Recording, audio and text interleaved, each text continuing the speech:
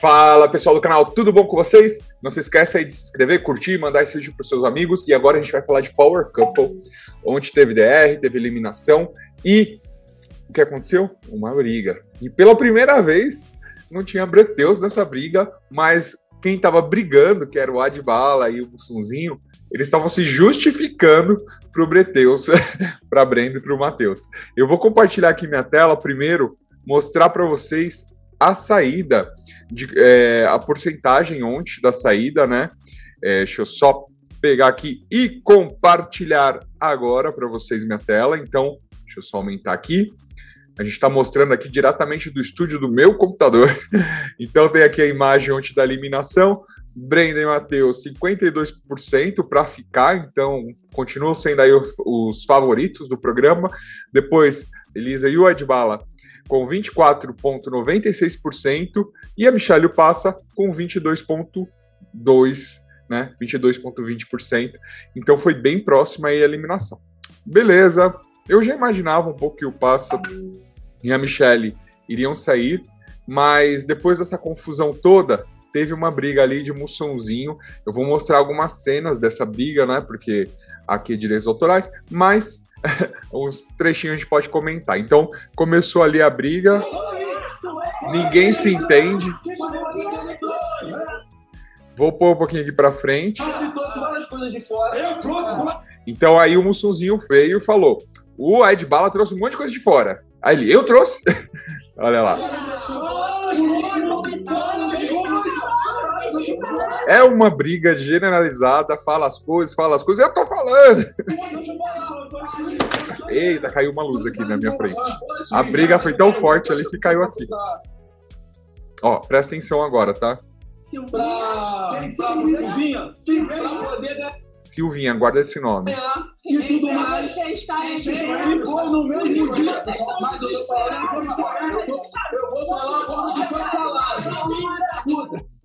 Presta atenção, Silvinha e parece. O que, que eles estão justificando, né? Eu vou explicando aqui, porque como a briga tá muito confusa e o vídeo eu não posso ficar mostrando tudo, é... o Mussunzinho falou que tinha uma tal de, de Silvinha, e aí presta atenção. A forma que foi falado.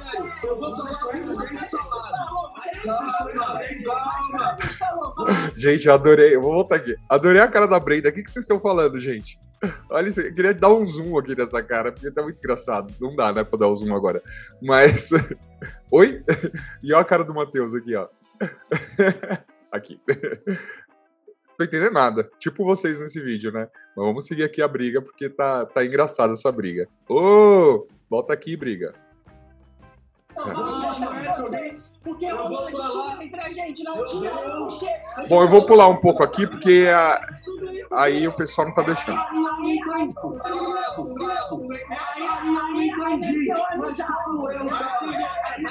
Pera, pera, pera.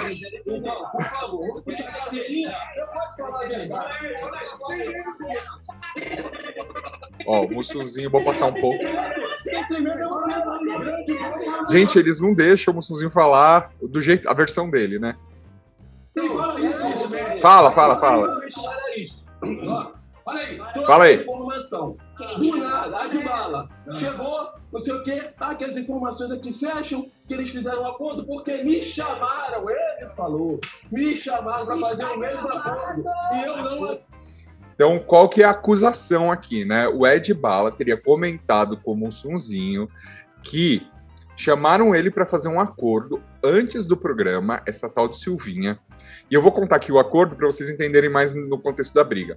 O, o, Ed Bala teria sido chamado para essa tal de Silvinha. Eu vou explicar quem é Silvinha, também fiz uma pesquisa aqui para saber quem é Silvinha, porque todo mundo. Quem é Silvinha, né? É, o Ed Bala tinha sido chamado para fazer esse acordo com a Silvinha, e se ele ganhasse o programa, ele teria que dar 40% do prêmio para essa Silvinha. Só que Diz ele que é honesto e não aceitou. E ele, nessa conversa que o Mussunzinho está falando, teria falado para o Mussunzinho que acreditava que a Brenda e o Matheus tinham feito esse acordo com a Silvinha. Por isso que eles estavam super favoritos. Eu achei justo para poder ganhar o programa, 40%. Vai ganhar o programa. Isso, isso. O que é esse 40%? 40%. Quem é Silvinha? Aí, tipo, da Brenda, que é Silvinha, né? Caiu de paraquedas na conversa. Nisso, o Ed Ballet achou que o Mussunzinho tava se ferrando aí com a, com a história. Gente, é a confusão. Ó, eu vou falar pra vocês, tá muito melhor que Big Brother. E olha que produção da Record nem sempre é boa tecnicamente. Lógico que Big Brother é mil vezes melhor a produção, mas a, esse elenco tá mil vezes melhor que Big Brother desse ano. Mil vezes. Aí segue a briga. Não, não, te fala assim. assim. Eles estavam sem microfone nesse momento da conversa, por isso que a gente não tem os vídeos da conversa em si. Aí ele confirma que os outros ouviram. Né? Até o Albert, que é aliado da Brenda, da Brenda do Matheus. Eu acho que a Brenda vai cobrar o Albert. Até aí tá tudo bem. Ninguém tem nada a ver Bom, aí acabou a briga. Segundo o próprio Haddad, é, Adbala, ele não falou nada disso, não foi dessa forma que ele colocou. Mas foi essa aí, ó, o, o Adbala foi exposto aí pelo Mussunzinho, né, como tá falando aí o nosso amigo Dantas no Twitter, que a tal da Silvinha tinha feito esse combinado do Brenteus ganhar os 40%, porque ele sabia que esse acordo existia, porque lá fora ele também foi foi chamado. Deixa eu só tirar aqui o compartilhamento da tela, que eu quero mostrar uma coisa para vocês. No canal da Taticelo, do Taticelo, da Tati e Marcelo, eles receberam o áudio da Silvinha e eu tenho esse áudio aqui para vocês. Deixa eu só colocar aqui, ó.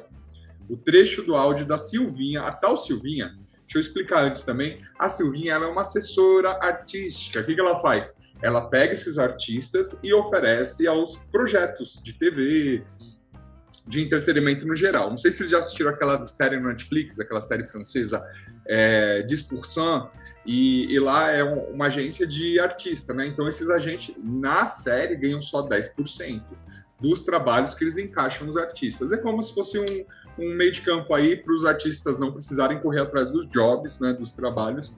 Os assessores arrumam os trabalhos, convencem os produtores a contratar os artistas dele.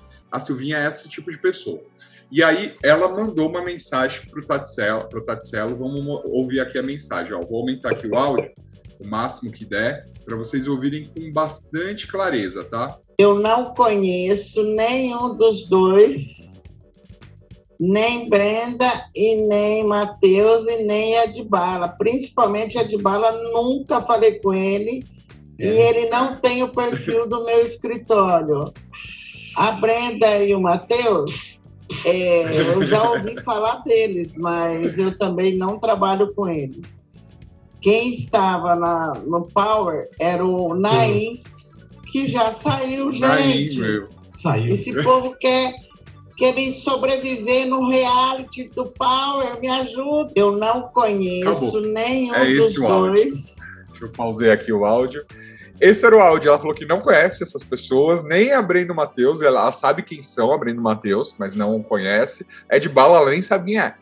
Duvido, porque ele foi Big Brother, né? Por mais é, mais apagado que seja ali a participação dele, ele tá no Big Brother, que é uma coisa que qualquer agente de, agente de, de artista é, conhece. Até porque hoje os pipocas do Big Brother já entram com esses agentes. Então, provavelmente, eles ficam muito ligados para tentar assessorar essas pessoas e, claro, ganhar a parte deles. Essa foi a conclusão que vocês acharam como o mundo dá volta, né? Porque até então o Matheus e a Brenda estavam em todas as brigas e eram sempre os culpados. Dessa vez, você vê de Bala e Mussunzinho se justificando pro, pro casal. Foi essa, essa briga aí, eu acho que foi bem divertido. É, lógico que esse Power Cup teve coisas muito pesadas, mas é sempre uma briga legal, assim, que é uma briga de reality show que eu, que eu concordo, assim, que acontece mesmo. Tá bom? Não se esqueça de se inscrever no canal, mandar seus comentários eu faço umas enquetes aqui perguntando sobre conteúdo, tem conteúdo de tecnologia, tem conteúdo aí de podcast, tem conteúdo de reality show nesse canal. E geralmente os conteúdos de reality show eles não são votados, mas são muito vistos, então eu vou continuar fazendo aí para vocês, tá bom? Obrigado e até mais. Tchau, tchau.